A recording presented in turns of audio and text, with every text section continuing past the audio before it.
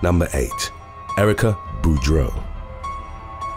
In June of 2020, a young woman was arrested for allegedly ramming into a man's truck and attempting to strike him with her car as he exited the vehicle. The road rage incident occurred right outside the Englewood Police Department in Colorado. The suspect was identified as Erica Boudreau, who'd left a tattoo parlor where she'd had a few drinks when a man in a pickup truck allegedly began following her and hurling insults at her. The conflict continued down the road until the driver of the truck pulled up to the parking spot outside the police station. As a neighbor later recounted to investigators, Boudreau then plowed her SUV directly into the parked truck, pushing it through a landscaped area and into a security wall. The truck driver climbed out of his vehicle, at which point Boudreau backed up before accelerating again in an attempt to strike him where he stood. The man ran into the station and Boudreau's SUV rammed into a light pole. She subsequently attempted to flee the scene on foot but was caught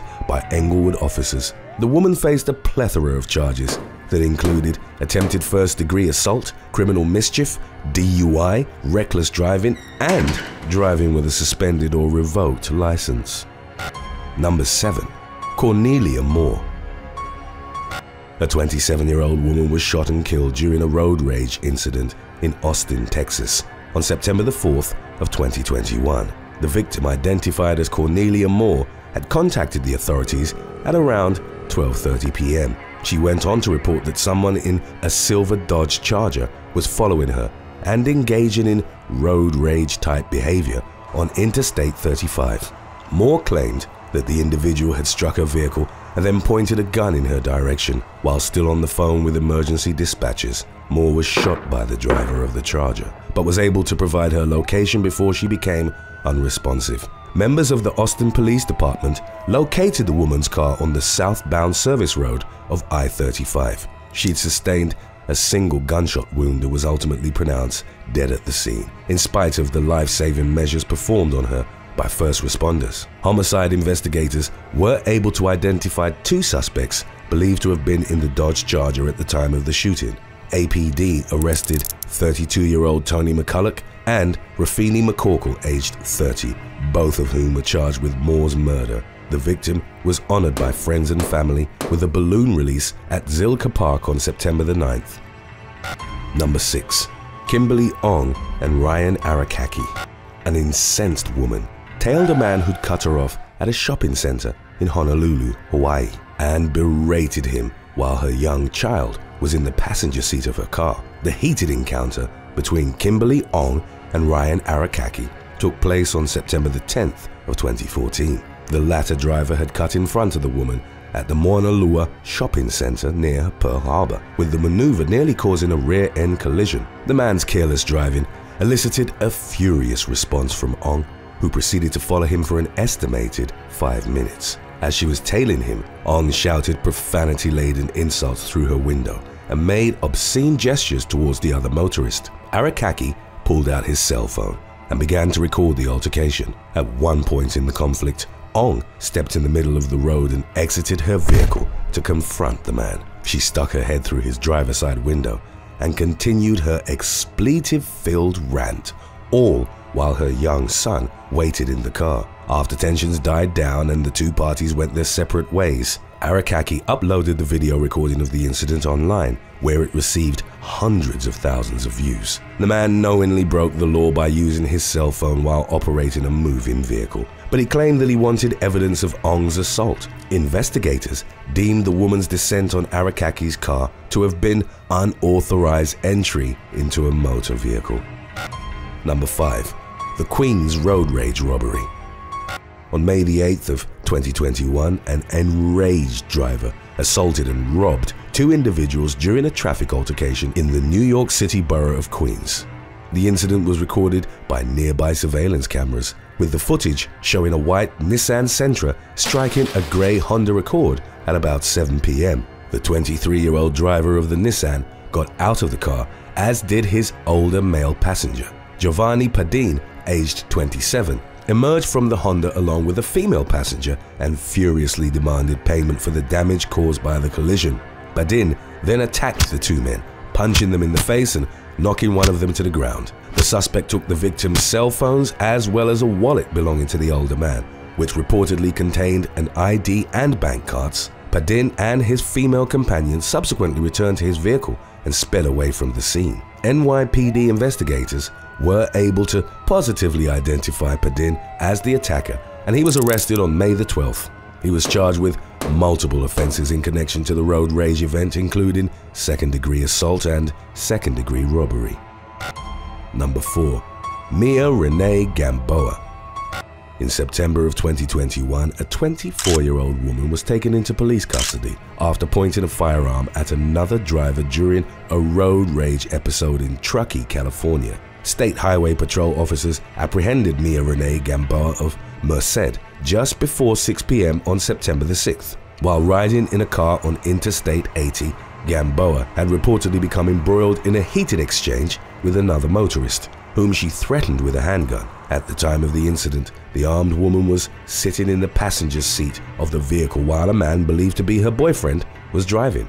There were also three children in the car, none of whom belonged to Gamboa. Following the suspect's arrest, investigators searched the vehicle and allegedly found two guns, more than $10,000 in cash, and a bottle of OxyContin pills that hadn't been prescribed by a doctor. The male driver was questioned by the police, but he was neither arrested nor charged with any crime. Gamboa was ultimately charged with brandishing a firearm, child endangerment, and possession of narcotics with the intent to distribute.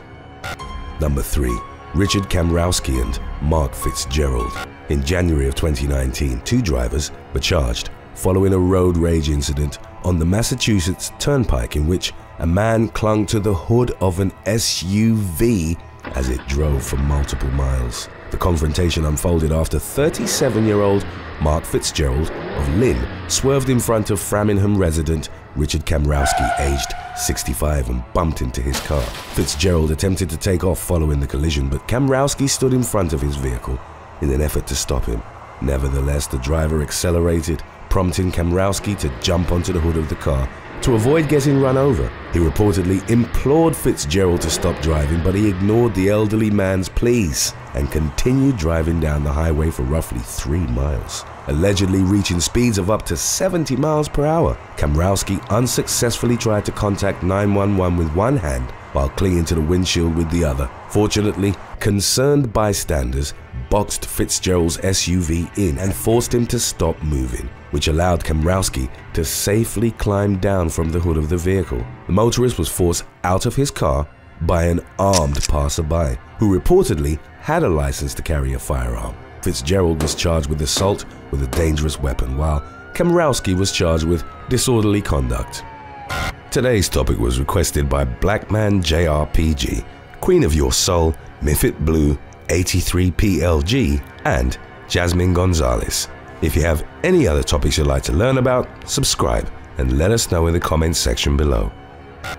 Number 2. Candelario Gonzalez a Florida man fatally shot a fellow motorist during a road rage incident that went horribly wrong in July of 2015. The victim, 44-year-old Candelario Gonzalez, contacted the police about a reckless driver on the roadway during the evening hours of July the 23rd. Gonzalez decided to follow the other vehicle in his own car, inside of which sat his wife, daughter, and grandson. The other driver, who was identified as 51-year-old Robert Doyle, called 911 as well and reported that Gonzalez was trying to run him off the road. Both vehicles eventually reached the former's residence in Beverly Hills and Gonzalez blocked the homeowner's vehicle in his driveway. At about 10 p.m., Gonzalez stepped out of his car. Doyle, who was armed with a handgun, approached the man and fatally shot him at least five times in front of his family. An eyewitness told the authorities that Gonzalez was in the process of backing up when the gun was fired, but Doyle's wife claimed the other driver was charging her husband. Doyle then held the rest of Gonzalez's family at gunpoint until the arrival of Citrus County Sheriff's deputies. The shooter was ultimately arrested and charged with second-degree murder, in addition to three counts of aggravated assault with a deadly weapon. Roughly a year after the incident had taken place, all the charges against Doyle were dropped. The decision followed a stand your ground hearing by a Citrus County judge who ruled that the man had acted in self-defense. Number 1. The Hollywood Stuntz Assault. On September the 29th of 2013, a 33-year-old man was viciously attacked by a gang of motorcyclists on the Henry Hudson Parkway in New York City. The violent altercation was preceded by a 911 call made by Alexian Lien, who told operators that he'd witnessed a group of bikers run a red light and nearly hit a woman carrying a baby. Lien's wife had reportedly tossed a half-eaten plum and a water bottle at the motorcycles, prompting one of them to punch the driver's side mirror of Lien's SUV. A short while later, a biker allegedly pulled out in front of Lien and decelerated sharply, causing him to make light bumper contact with the motorcycle from behind. Within seconds, the scene devolved into chaos as other bikers charged Lien's vehicle, which was also carrying the couple's two-year-old daughter. The assailants proceeded to strike and kick the car, compelling Lien to accelerate in an attempt to escape. As he drove away from the scene, Lien ran over three motorcyclists, including a man named Edwin Mieses, who suffered a fractured spine and a punctured lung. The bikers retaliated by pursuing Lien for several miles. The man's wife contacted 911 a total of four times during the eight-minute chase. While Lien was stopped at a red light, one of the bikers got close to his car and shattered the driver's side window with his helmet. Lien was then dragged from the SUV and beaten relentlessly by several of the bikers from the group. They'd allegedly tried to pull the man's wife from the car as well, but were unable to do so because she had her seatbelt on. Bystanders eventually stepped in and put an end to the assault, which left Lien with lacerations to his face and sides. A video of the entire incident was uploaded to LiveLeak and subsequently received international attention. Some of the motorcyclists involved in the chase and attack